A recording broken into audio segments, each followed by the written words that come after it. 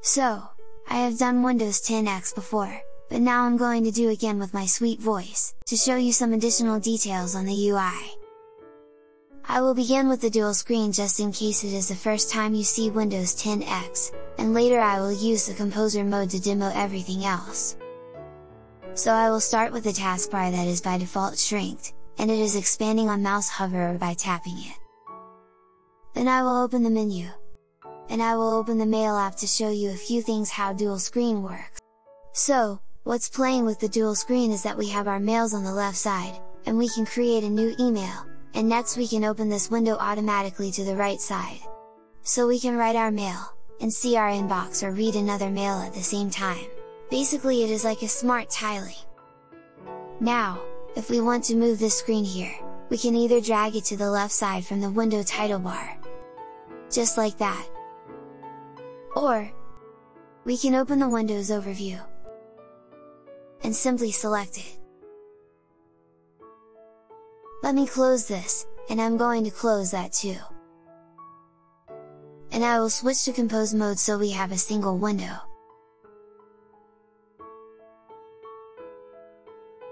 I will rotate this, but I can't really scale it because the emulator loses pointer coordinates for some reason.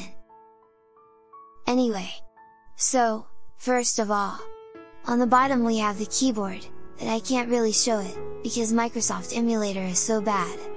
Honestly, this company can't develop anything good, they can only buy things. But whatever, let's continue. So, now the taskbar is always open, and I want to show you a few things. We open the menu, and we have our application and we have a show all button too. I imagine for reducing the scrolling to the documents at the end.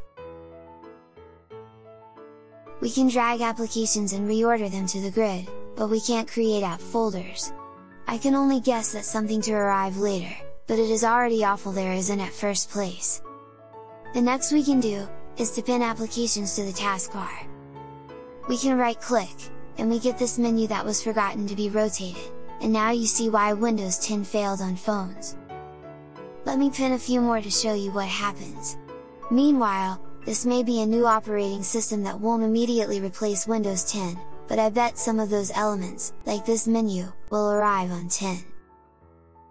Okay, now you see pin on taskbar option is inactive, that means the taskbar can only keep 1, 2, 3, 4, 5 apps.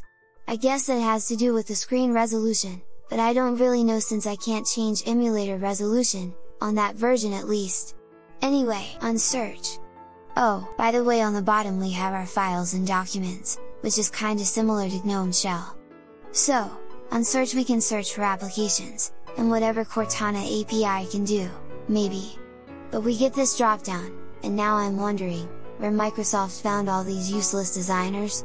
We have a voice search too, and basically we have nothing else, like Budgie Desktop version 0.1.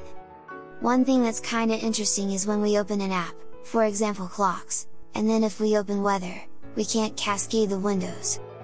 Everything is on full screen, which is similar to some version of Windows 8, that all apps were opening full screen on a new workspace, but obviously we don't have workspaces here. I will close all those, and the final thing I want to show you is the indicators menu. It looks a bit like Chrome. First we can expand or hide components, and I like this a lot. Then, we can go inside a panel for more details, and we get an arrow to go back. In general, I totally like this menu and I wish to see something similar to GNOME. We also have the quick controls here, that we will be able to edit similar to 10, I guess. The last thing are the notifications that are on a separated panel above that, but I can't really show that. I installed Notifications Visualizer to try them, but the Toast pop-up panel was missing. Probably because the window can't scale on a small screen. Anyway, if the Windows 10X image gets some significant updates I may do a new upload. So, that was all for now and this video was produced with a super new technique that you can read on pin a comment.